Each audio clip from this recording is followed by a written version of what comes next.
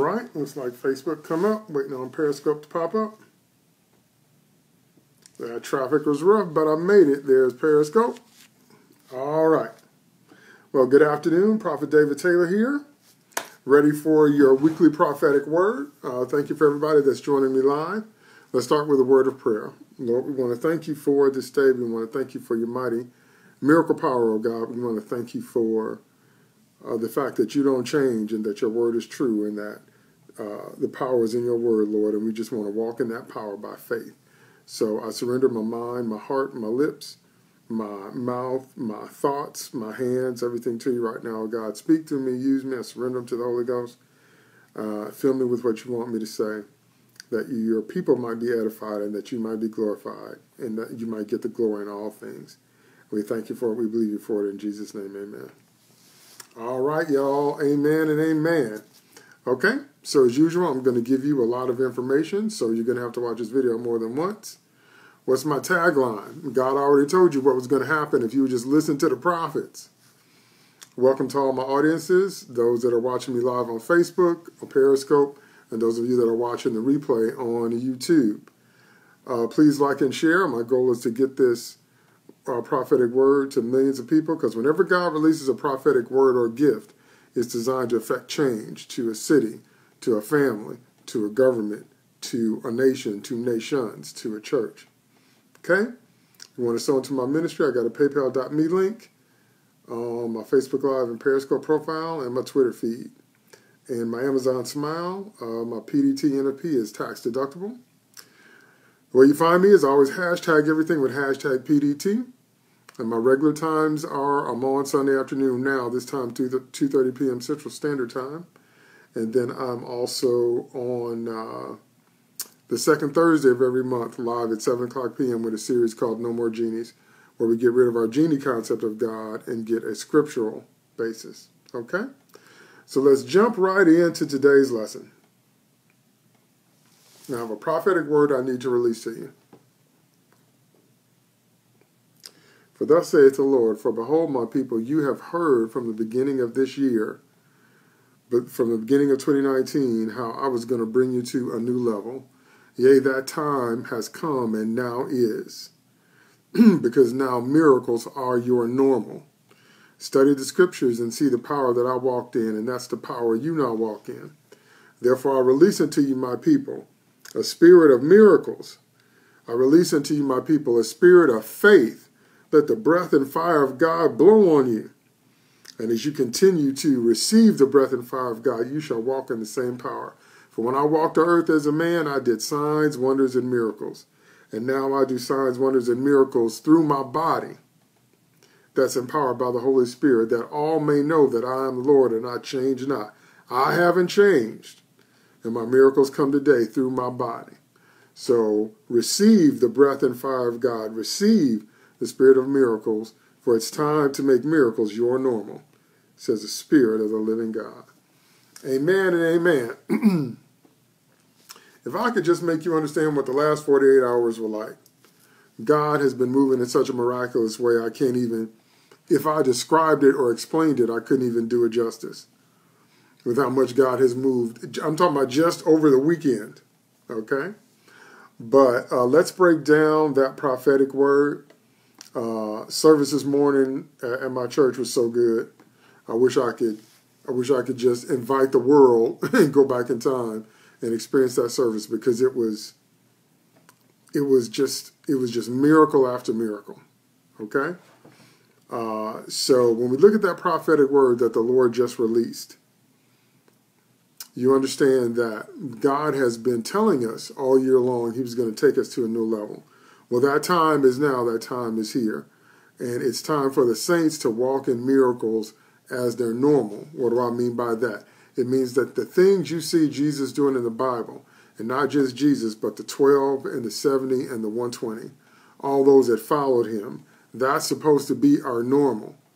When I was a child, I used to read the scriptures and I used to ask myself, how come the stuff I see in the Bible doesn't seem to be happening in the church? It confused me. Okay, and it took a long time for me to understand the answer. And the answer to that question is God didn't change. It's just the people change. Okay?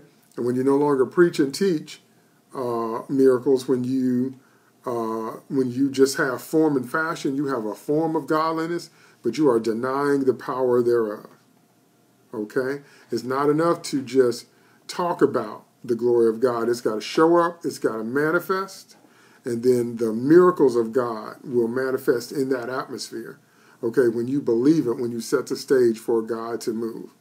And the Lord is saying that's supposed to be our normal. That everybody might know, saints and sinners alike, that God didn't change. The same God of the Bible, when Jesus walked to earth as a man, all the stuff he did when he walked to earth, we're still supposed to be doing that now. That was always the plan. That's not above and beyond. Okay? That's supposed to be our normal. Okay?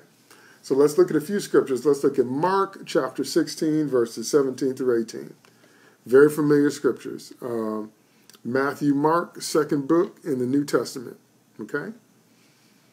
Uh, uh, Mark chapter 16, verse 17 through 18. I'm reading out of King James Version. Oh, hey there, Primla. How you doing? God bless you. And these signs shall follow them that believe. In my name shall they cast out devils. They shall speak with new tongues. They shall take up serpents, and if they drink any deadly thing, it shall not hurt them. They shall lay hands on the sick, and they shall recover. Very familiar scripture. What did the Lord say? The Lord say, and these signs shall follow them that believe. Okay? So you're supposed to have signs following if you're a believer. In other words, it's not just supposed to be talk Okay? You're supposed to have signs, the mark of the Holy Spirit, the mark of the supernatural power of God is supposed to follow you if you're a believer. Okay? And in the name of Jesus, you cast out demons. Now, the church I go to specializes in deliverance. I've discovered that a lot of, of Christians don't believe in deliverance, and I don't understand that. Okay? Because the Lord cast out demons from the beginning to the end of his ministry. Okay? So that's why you have to get past your denominationalism and get into what thus saith the Lord. And the Lord, uh, when the Lord's talking about the signs that will follow, the first sign he referenced was deliverance. The first sign that Jesus referenced that would follow those that believe in him was casting out demons. So remember, the title of this prophetic word today is that miracles are, are normal. So if you are a believer in Christ, you're supposed to cast out demons. I just showed you where it said that in the Bible. So you're going to have to get past your denominationalism. You're going to have to get past the traditions of men and learn how to focus on what thus saith the Lord. Then he said, they shall speak, they shall speak with new tongues. Once again, I have met Christians that say they don't believe in speaking in tongues. I don't understand that. 1 Corinthians 14 talks about tongues. Jesus himself here in Mark talks about tongues. Okay? Jesus' mama spoke in tongues. Remember that Mary, Jesus' mom, was in the upper room on the day of Pentecost, and when the Holy Ghost fell, she spoke in tongues. Okay? So speaking in tongues as a believer is normal. That's what we're supposed to do. They shall take up serpents. Now, some people have taken that to the extreme, meaning they go and play with snakes and say if the snake bite them, then, you know, if they're right with God, they won't die. And that's not what the Lord said. Okay? It's talking about that kind of thing that happened with Paul. When Paul uh, was around a campfire at some point, a snake jumped out of the fire and bit him. But instead of Paul getting instead of Paul getting sick and instead of him falling down, he just shook it off. That's what that's talking about. Okay? It's not talking about tempting God by going putting yourself in danger on purpose. It says, if they drink any deadly thing, it shall not hurt them. That lines up with the miracle that Elisha did when there was death in the pot and Elisha put some salt, a little cruse of salt in the food and got rid of the food poisoning. Okay? That's right, we're not supposed to get food poisoning. And then it says, they shall lay hands on the sick and they shall recover. Again, that's what Jesus spent three and a half years doing, opening the eyes of the blind, healing sick people. This is our normal. Okay? But the time has come for us to walk in that as believers. Okay? Walk in that as believers because this is our normal. Let's look at another scripture. John chapter 2, Matthew, Mark, Luke, John, okay, fourth book in the New Testament, written by the Apostle John. Matthew, Mark, Luke, John 2.11, I'm reading out the King James Version, said, This beginning of miracles did Jesus in Cana of Galilee, and manifested forth his glory, and his disciples believed on him. If you're not familiar with that, that was where the Lord turned water into wine at the wedding of Cana. That's what's going on in John chapter 2. The Lord was attending a wedding feast and they ran out of wine. And so the Lord turned water into wine, and it was the best wine they'd ever tasted. Okay? But what I want to focus on is verse 11 when it says, This beginning of miracles. There it is again.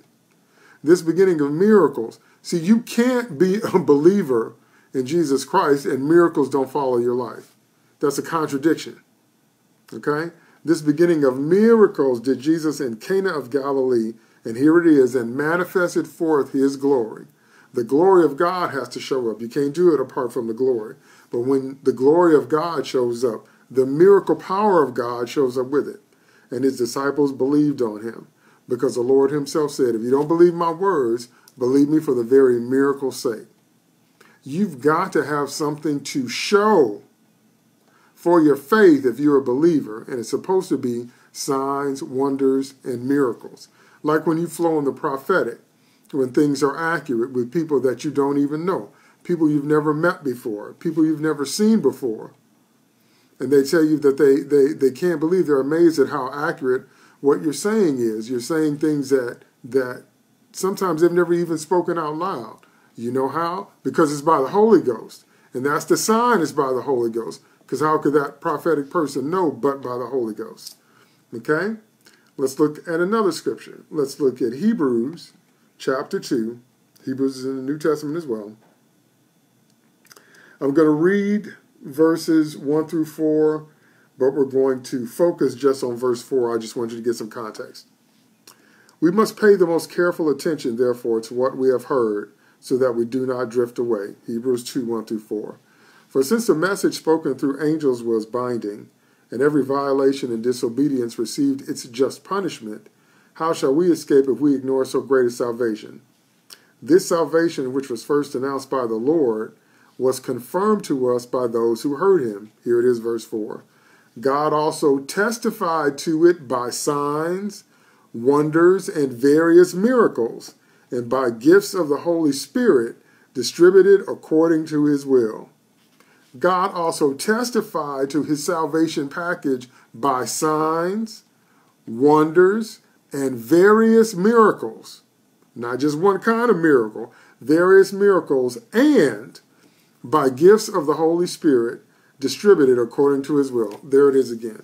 So I've given you scripture after scripture after scripture to show you that walking in miracles is normal for the believer. But the Lord has said that now is the time. Now his glory is supposed to manifest because both the saints and the sinners, all the humans on this planet are supposed to know that God doesn't change. Whatever miracles you see God do in the scriptures, in the Bible, he's still able. He didn't change at all. He's still that God. Okay? So what changed was people changed, but that day is over now. Because now we're learning and we have learned, yea, the time now is to bring his glory in the room, walk in his glory, and let the miracle power of God manifest. This is your normal if you're a believer. You're supposed to be speaking in tongues. You're supposed to cast out demons. You're supposed to lay hands on the sick and they recover. You're supposed to be able to bless your food and cast out food poisoning. You're supposed to be able to turn water into wine and various miracles are supposed to follow you. Apostle Paul had handkerchiefs he would put on his body, and they would absorb the healing anointing. And then he would send them to people, and when people got those blessed handkerchiefs, they'd touch their body and be healed. Okay? That is our normal. Okay? So God does not want us to go backward, He wants us to go forward so that the miracle power of God might manifest in the lives of all believers. Okay? Now, me personally, well, I grew up under a prophet. I grew up under a prophet where um, women who couldn't have kids, he laid hands on them and their wombs were opened, and and uh, he would just speak, and the Holy Ghost would fall, and uh, healing all kind of sick people, getting people baptized with the Holy Ghost. So I grew up under an anointed prophet. Okay, but again, that kind of miracle working power is normal. But what I was going to say is that this weekend of my life, just the past 48 hours, have been full of miracle after miracle after miracle. Some of which, if I told you, you would just sit there with your mouth open. The way God has manifested this weekend, the way God has manifested prophetically, to have words come out of the mouths of prophets where there's nowhere, no way we could know what was going on with that person. To have uh, pastors talking about um, financial miracles where people were getting their credit restored instantaneously, like that, where people were growing new kidneys, where people were instantaneously losing back pain, where people were being pulled to the new level of faith, where people were getting manifestations manifestations of the angels of God. And some of that was confirmation for me because I wrote a book about the war in heaven called Lucifer, Soldiers, Serpents, and Sin. Okay, and there's a lot of different ranks of angels in my book and a lot of different stuff going on when the war in heaven started. And I got some confirmation this morning about different kinds of angels and how there's an everything angel that's gold covered and how God releases the anointing for us to believe God for anything. When we learn how to walk in his glory, when we believe God, that's how he rewards us. So remember, now if you pay attention to my videos, this progression has been going on for over a year. I've been telling you for over a year that when the Lord shows up, he shows up like that. When the bridegroom comes, he just shows up. And all those that are ready are moving forward. So all of you that have been being filled with the Holy Ghost for the past year, you're ready for this. You know what I'm talking about. And it's already started to show up in your life. Those of you that haven't been Holy Ghost filled, I probably just sound crazy to you. I probably just sound absolutely crazy, and you don't know what I'm talking about, and that's wrong with you Christian people, and blah, blah, blah, blah. Where the bridegroom has come in and shut the door, and we are now in the miracle realm. And if you're not ready for it, oh well, because God is moving mightily. I'm talking about healing people's knees completely. When, when, when they were wore down, there was no cartilage left, and they running up and down the aisle. I'm talking about healing people from stomach infirmities, where they had digestive problems, right on the spot. Okay? And I'm just talking about in the last week. I'm talking about I saw it with my own eyes. Okay? And then some of those things manifested through me as the Holy Spirit was ministering as I was moving prophetically. Okay? So I'm trying to get you to understand that the time is now, right now. We're in the season of miracles. And so if you've been paying attention for the past year, you've been building your faith so that now that God has moved and opened the door and pulled everybody up to the next level, you are ready to go. So what does that look like practically? What that means is that exactly what the word says. You're supposed to be able to cast food poisoning out of your food. Say your grace and bless your food and believe to never be sick from your food again. If you have any kind of infirmity anywhere in your body, put your hands on your own infirmity and cast it out and speak healing. Same with anybody else. If you're around anybody and they're sick on any level, put your hands on them. Okay? I mean, in terms of, you know, lay hands on the sick, like the scripture said, lay hands on wherever the infirmity is and rebuke it and speak wholeness in the name of Jesus and expect their bodies to be 100% whole. Uh, we got a prophetic word this morning about financial miracles. So it's time to believe for financial miracles. Are financial miracles in the Bible? Absolutely. God changed the economy of a nation in one day. Uh, God spoiled uh, Egypt when Moses was leaving with the Hebrews. He spoiled the Egyptians in one day. They left with all the spoils. We're talking about anywhere from 500,000 to 1.2 or 1.5 million people got all of the cash and the, the jewels and the silver cups and all that from the Egyptians. They took it with them. So when the Hebrews left Egypt, they didn't leave empty handed if you didn't know that. Okay? Are there financial miracles in the Bible? Yes. The Lord needed to pay his taxes. So he told Peter to go fish in a certain spot, and he pulled up a fish, and there was a coin in the fish's mouth that was enough to pay Jesus' taxes and Peter's. Okay? Are there financial miracles in the Bible? Yes, I just read you one in John chapter 2 where the Lord turned water into wine. Where you take water and turn it into wine at no charge to the people that were throwing the wedding. Did Jesus do that? The Lord didn't charge him for that wine. Okay? So don't tell me financial miracles aren't in the Bible. Yes, they are. Over and over and over and over again. So now is the time. So now is the time for you. I'm talking to you personally now is the time for you to walk in that level of miracle power. Okay? No more delay. I'm not talking about May. Remember I told you, remember I told you last week to get everything together for March because when April hit, God was going to have some new stuff. Remember me saying that? I said that seven days ago. To be sure that your house was in order for March, to be sure that everything God had put on your agenda to do in March, finish it. Because when April came, it was going to be some new stuff. I said that just last week. And here we are in April, and look at how God is moving just in the last 48 hours. Okay? So if you don't know what I'm talking about, if you don't believe no, none of what I'm saying, then you'll just be left behind. You just miss this way. Okay? Just like when it's spouse season. When it's spouse season, God is bringing people together. God is putting marriages together. And if you don't believe that and you miss spouse season, I don't know when it's going to come back again. But I do know that when God is ready to get two people together, to be joined together in marriage, when you're the ones that God have chosen to be together, to be together, it's going to be a supernatural joining. You won't know by the flesh. You'll know by the spirit when you find the right one for you. You see what I mean? They'll be custom designed. They'll be bone of your bone and flesh of your flesh. They'll be custom designed to fit with you. See what I mean? And if you don't believe that, then stay single for 20 more years. Fine by me, but I believe God in every area. Okay? All right.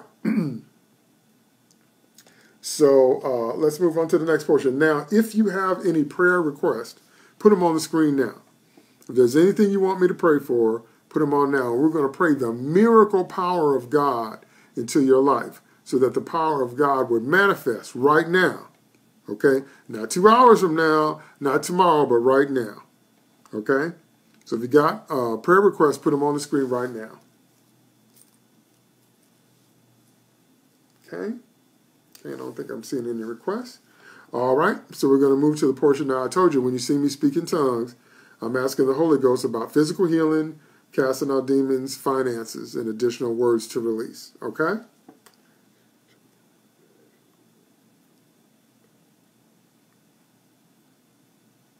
Okay, God is saying somebody is being afflicted on their tongue. So in the name of Jesus, I want you to put your hand on your mouth. In the name of Jesus, I want you to say, I speak life to my tongue. I speak wholeness to my tongue. I speak any punctures, any holes, any damage, any dry mouth, any lack of saliva, any tongue tiedness, any muteness in Jesus' name to be gone. We cast it out right now in Jesus' name when we speak wholeness to the tongue. 100% wholeness right now. Let the miracle power of God manifest. And let every mute tongue be loosed.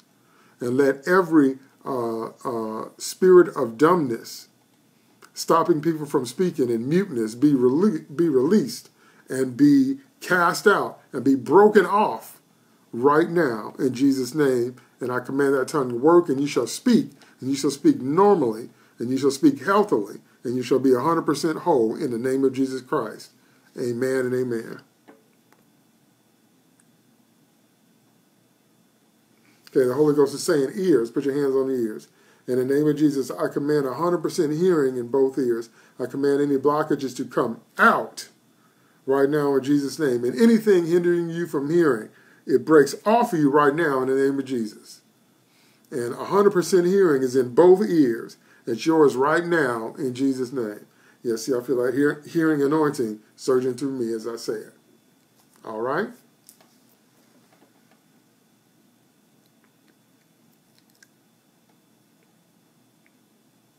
Okay, the Holy Ghost is telling me to say that the bridegroom is pleased with all those that are ready to go. That all of you that are walking in the miracle power of God, all of you that have been building up your faith for the last year, and all of you that made a point to get in sync with God and make sure that you get your business done when the Lord tells you to get your business done. The Holy Ghost is telling me to say to you, congratulations. The bridegroom, Jesus Christ, is pleased. Congratulations. I didn't say that right. The Lord is pleased with where you are and what you've done. so bless God. That means we got a good grade from Jesus. I told you, the Lord gives us our grades now. So we got some good grace from the Lord. So praise God for that. So I'm happy to walk in that, and I'm happy that we're pleasing the Lord.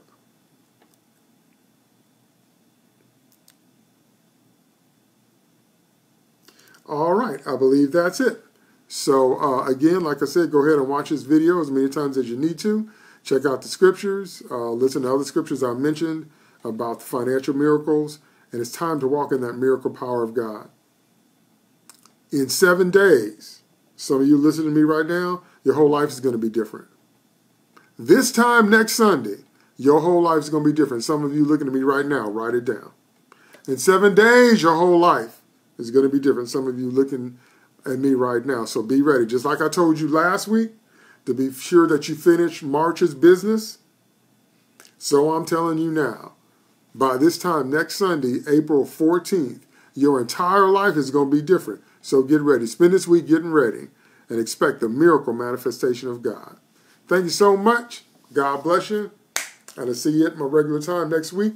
And uh, this is second Thursday coming up. So we're going to have no more genies coming up this Thursday night at 7 o'clock. Okay? Thanks. God bless. Have a miracle Sunday. Amen.